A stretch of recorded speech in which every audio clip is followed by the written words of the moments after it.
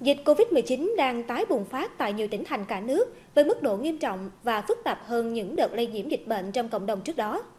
Chủ động kiểm soát phòng dịch COVID-19, Ban quản lý các chợ trung tâm thương mại trên địa bàn tỉnh Bà Rịa Vũng Tàu đã tăng cường bố trí các điểm sát khuẩn, đặc biệt bắt buộc đeo khẩu trang và giữ khoảng cách an toàn khi giao dịch mua bán.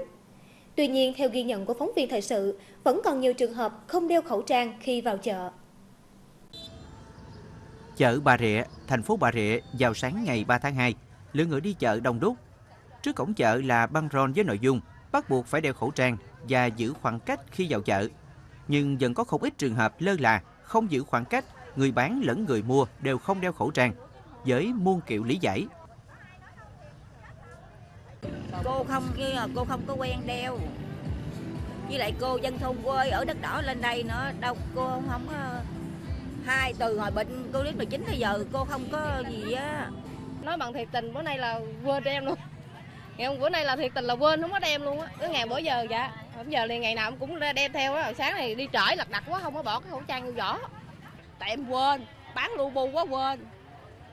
Sáng lặt đặt quá quên. Chứ có đeo khẩu trang hết chứ bắt buộc. Người đi chợ cũng phải đeo luôn. Tại chợ rạch dừa thành phố vũng tàu chợ Phước Nguyên, thành phố Bà Rịa, chợ Long Điền, huyện Long Điền cũng có rất nhiều tiểu thương và khách hàng ra vào chợ không đeo khẩu trang hoặc đeo khẩu trang không đúng cách.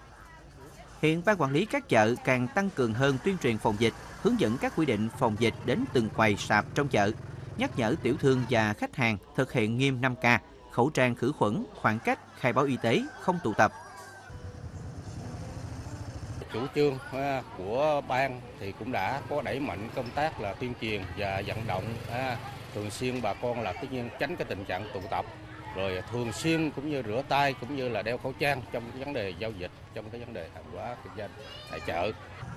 Trước diễn biến phức tạp của dịch Covid-19, thực hiện nghiêm các quy định phòng dịch được xem là biện pháp ngăn chặn, khống chế dịch bệnh hiệu quả, nhất là những nơi nguy cơ cao dịch bệnh lây lan như chợ, trung tâm thương mại, siêu thị,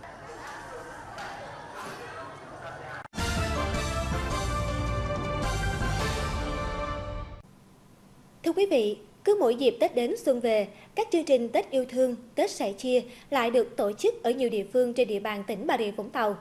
Tích cực thực hiện những chương trình như thế là Ban từ thiện xã hội Giáo hội Phật giáo của tỉnh thông qua phiên chợ không đồng mang tên Chợ Tết yêu thương tình người. Đây là năm thứ tư Ban từ thiện xã hội Giáo hội Phật giáo tỉnh tổ chức phiên chợ. Đến phiên chợ Tết yêu thương tình người do Ban từ thiện Giáo hội Phật giáo tỉnh Bà Rịa Vũng Tàu tổ chức, những người có hoàn cảnh khó khăn được lựa chọn hàng theo nhu cầu của cá nhân và gia đình.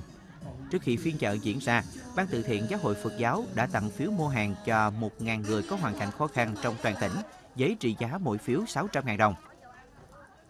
Nay tôi nhận được quà rất vui là vì Covid đã tổ hà chợ cho tôi tôi rất vui mừng. Lớn tuổi là không có làm gì ra tiền, giờ có uh, cho quà Tết vậy là tôi mừng lắm. Trước diễn biến phức tạp của dịch Covid-19, nên ban tổ chức đặc biệt chú trọng hướng dẫn mọi người tuân thủ nghiêm những quy định phòng dịch trong quá trình giao dịch tại chợ. Vì đang trong tuần mùa dịch cao điểm nhưng mà chúng tôi cũng cố gắng giữ an toàn và đúng khoảng cách mỗi vị một mét rưỡi và tất cả phải sát khuẩn cũng như đeo khẩu trang đến khi mà hết buổi lễ và đồng thời cũng cảm ơn hết quý vị các mạnh thường quân, các nhà hảo tâm, các tịnh xá, tịnh thất niệm Phật đường đã ủng hộ trong suốt thời gian qua là 4 năm để à, phiên chợ à, tình người của chúng tôi được thành công viên mãn. Bước sang năm thứ tư tổ chức, chợ Tết yêu thương tình người, ngoài duy trì số lượng người nghèo được hỗ trợ, ban tổ chức còn kết nối được nhiều nhà tài trợ tham gia. Ở năm đầu tổ chức có 38 doanh nghiệp tham gia, thì nay là 50 doanh nghiệp.